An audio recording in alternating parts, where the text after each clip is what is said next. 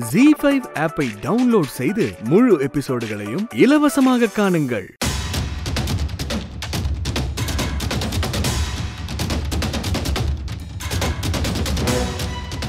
அம்மா பிராதே உங்க மேலதான். அதனால இப்போ நீங்க நாற்காலியில உட்கார முடியாது. நீங்களும் அவங்களோட போய் சேர்ந்து நில்லுங்க.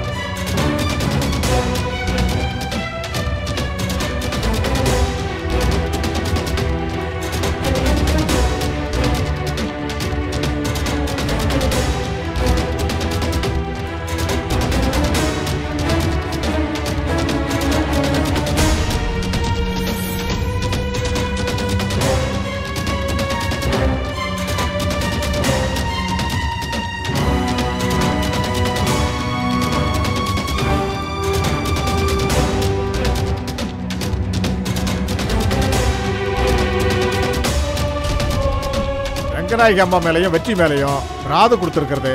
புஷ்பாவும் சரளாவும். புஷ்பா? முதல்ல உன் பிராத சொல்லு.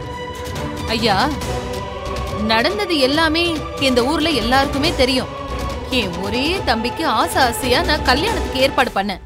ஆனா இந்த ரங்கநாயகி அம்மா இருக்காங்களே அவங்க பையன் வெற்றி திட்டம் போட்டு இந்த கல்யாணத்தை நிறுத்திட்டான்.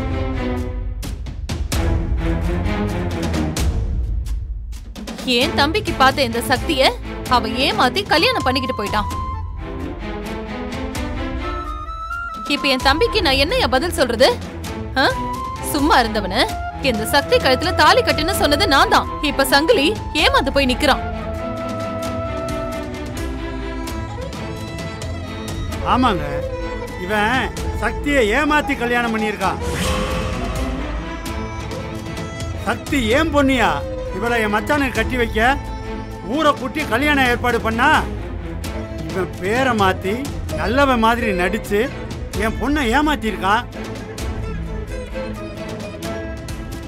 இங்க பாருங்க நீதிமணி. கல்யாணம் ஆயிடுச்சு. வெற்றி சக்தி கழுத்துல தாலி கட்டியாச்சு. இப்ப என்ன பண்ணணும்னு எதிர்பார்க்கறீங்க? நஷ்ட ஈடா எவ்வளவு பண்ணணும்னு சொல்லுங்க வாங்கி கொடுத்துட்றோம் என்ன வெற்றிக்கு தண்டனை கொடுக்கணும்னு எதிர்பார்க்கறீங்களா?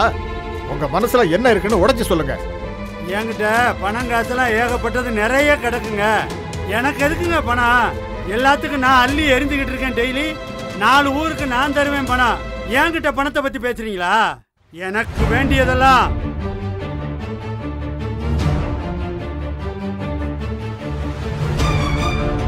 இங்க பாருங்கய்யா இந்த வெற்றி பயலையும் சக்தியும் அத்து விட்டுருங்கய்யா.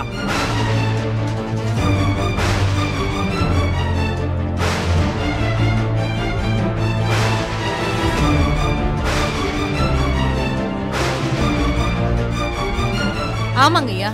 அத்து விடுறது ஒண்ணும் நம்ம பக்கம் புதுசு இல்லையே. என்ன பேசுறோம்னு தெரிஞ்சுதான் பேசுறியாம்மா? எல்லாம் தெரிஞ்சுதாங்க சொல்றான். பஞ்சாயத்தை கூட்டி ஊர் முன்னால அத்து விட சொல்றோம்னா யோசிக்காமல சொல்லுவான்? யோசிச்சு தாங்க சொல்றான். அத்து விட்டுருங்க அப்புறம் சக்தி வாழ்க்கை என்ன ஆகும்னு யோசிக்க வேணாம். என் மச்சான் இருக்கான்? கட்டுறா தாலி என்ன? என்ன ஏதுன்னு கேட்காம உடனே தாலி கட்டுவான்.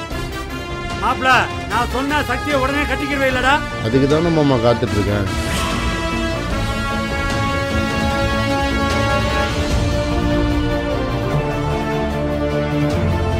கேட்டீங்கல்ல? அப்புறம் என்ன? அத்து விட்டுருங்க. இங்க பாருங்க இதெல்லாம் ரொம்ப அநியாயமா இருக்கு. யாரு யார வந்து அத்தை விட சொல்றீங்க? ஒரு அப்பாவே தான் பொண்ணு அத்தை விட சொல்றது அராஜகங்க. சின்ன பொண்ணுங்க பேசாதீங்க. பிராது கொடுத்தவங்க அவங்களே பேசிக்கிட்டோம். நீங்க சும்மா இருங்கம்மா. சரளா உன் பிராத சொல்லுமா? ஐயா என் பொண்ணு பூஜா வெற்றியை தான் கல்யாணம் பண்ணிப்பேன்னு ஒத்த கால்ல நின்னா. அவ வெற்றியை தான் புருஷனாவே நினைச்சிட்டு இருந்தா. இந்த வெற்றி சொல்லாம கொல்லாம திருதுப்புன்னு எவ்வளவு ஒருத்தி கழுத்துல தாலிய கட்டினதும் அவ மனசு உடைஞ்சு போயிட்டாயா? பச்சை தண்ணி கூட குடிக்காம ரூம பூட்டிட்டு உள்ள போய் அழுதுட்டு இருக்காயா? அவளுக்கும் வெற்றிக்கும் எப்படியாவது கல்யாணம் நடந்து ஆகணும். எப்படியாவது என் பொண்ணை காப்பாத்தி கொடுத்துருங்கய்யா. வெற்றி சக்தி கல்யாணம் செல்லாதுன்னு சொல்லி அறுத்து விட்டுருங்கய்யா. வெற்றிக்கு பூஜாவுக்கு கல்யாணம் நடக்கலன்னா என் பொண்ணு செத்து போயிடுவாயா?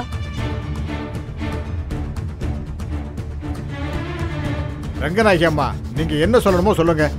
இந்த புஷ்பா ஏன் மேல பிராது கொடுத்திருப்பான்னு எனக்கு தெரியாது. என் பையன் இவ கழுத்துல தாலி கட்டுவான்னு எனக்கு சத்தியமா தெரியாது. நானே அதுல ரொம்ப அதிர்ச்சியில தான் இருக்கேன்.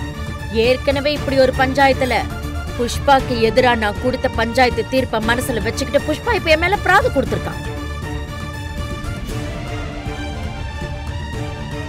அதெல்லாம் இருக்கட்டுமா என்ன செய்ய போறீங்க? அதை சொல்லுங்க. இந்த சக்தி என்னோட ஆசைக்கு எதிரா என் பையனை கட்டாயப்படுத்தி கல்யாணம் பண்ணியிருக்கான். என்னைக்கா இருந்தாலும் இவளை நான் என் மருமகளா ஏத்துக்கவே மாட்டேன். என் பையனுக்கும் இவளுக்கும் நடந்த கல்யாணத்துல எனக்கு சம்மதமே கிடையாது. என் பையன் என்னைக்கும் நான் சொன்னதுக்கு மறு பேச்சே பேசுறது கிடையாது. அப்படிப்பட்ட பையனையே இவ மிரட்டி தாலி கட்ட வச்சிருக்கான்னா இவ எப்படிப்பட்டவளா இருப்பான்னு நீங்களே பாத்துக்கோங்க மத்தபடி இந்த பஞ்சாயத்து என்ன முடிவெடுத்தாலும் அதுக்கு நான் கட்டுப்படுறேன். நல்லா யோசிச்சு சொல்லுங்கம்மா. நல்லா யோசிச்சு தான் சொல்றேன். இந்த பஞ்சாயத்து என்ன முடிவெடுத்தாலும் சரி எனக்கு சம்மதம்.